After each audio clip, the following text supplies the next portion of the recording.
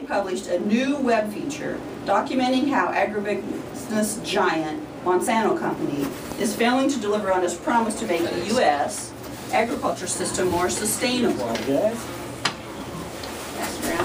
A sustainable system would produce an adequate food supply, safeguard the environment, and protect farmers' bottom lines at the same time. Monsanto, UCS says, fails this three-pronged test. Monsanto talks about producing more, conserving more, and improving lives, but its products are largely not living up to those aspirations, said Doug Gurian Sherman, a senior scientist with Union of Concerned Scientists Food and Environment Program. In reality, the company is producing more engineered seeds and herbicide and improving its bottom line at the expense of conservation and long-term sustainability. I thought we had an audience. We do. Monsanto's public relations campaigns trumpet that its products, such as its genetically engineered Roundup Ready seed and herbicide system, will lead to an agricultural future that minimizes environmental pollution, addresses global warming, and feeds the world. The truth is decidedly less impressive, according to the UCS. UCS explores eight ways that Monsanto has failed to deliver on its sustainability claims, and the company is undermining efforts to promote sustainability by 1. Fostering weed and insect resistance. Monsanto's Roundup Ready and BT technologies lead to resistant weeds and insects that can make farming more difficult and reduce sustainability. Yeah. Number Two. two. Increasing herbicide use. Roundup resistance has led farmers to use more herbicides, which threatens biodiversity, sustainability, and human health. Spreading gene contamination.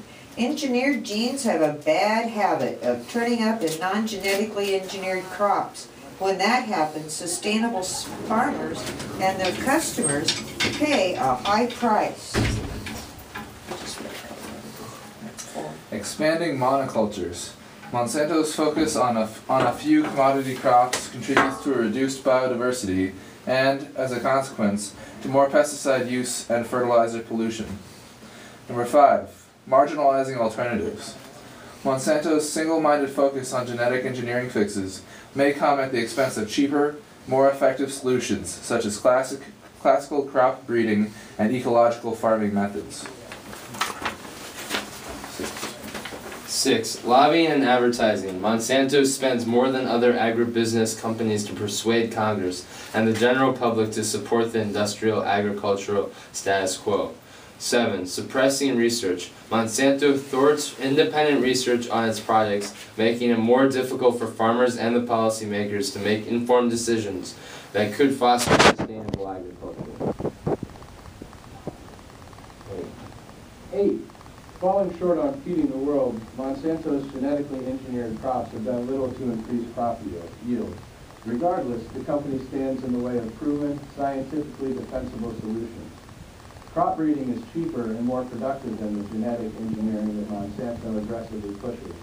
And proven ecological farming methods ignored by Monsanto rely on fewer pesticides and fossil fuel-based fertilizers, notes Gurian Sherman. But some of these practices conflict with the agricultural model that generates the company's profits. How has Monsanto been able to burnish its undeserved reputation as a sustainability leader? In part by spending tens of millions of dollars annually to influence the public and policymakers. Monsanto spent 8 million lobbying members of Congress and federal officials in 2010, for example, and more than 400,000 more in political contributions in that year's election cycle. At the same time, it spent 120 million in advertising. The undue influence of companies like Monsanto result in food policies that encourage less diversity and an over-reliance on herbicides and insecticides, said Karen Perry Stillerman, senior al- analysis with the UCS Food and Environment Program. As the Farm Bill is currently being debated in Congress, now is the time to prioritize sustainable agricultural alternatives to genetically engineered crops in our food co- policy. Now is the time. Yeah, now is the time. Say no to great event GMO. All of us to be here on our way out to Walmart, where we're working with Food and Water Watch, occupiers throughout Iowa, throughout the nation, that are also gathering petitions and then sending a message to Walmart saying, don't buy Monsanto's new GE sweet corn. It hasn't been tested for three new compounds. Those haven't been tested for human safety. We shouldn't be putting them on the shelves of our stores, in the digestive systems of our children, or in our water supply, not knowing what the impact of these compounds are. So it's going to be a great day.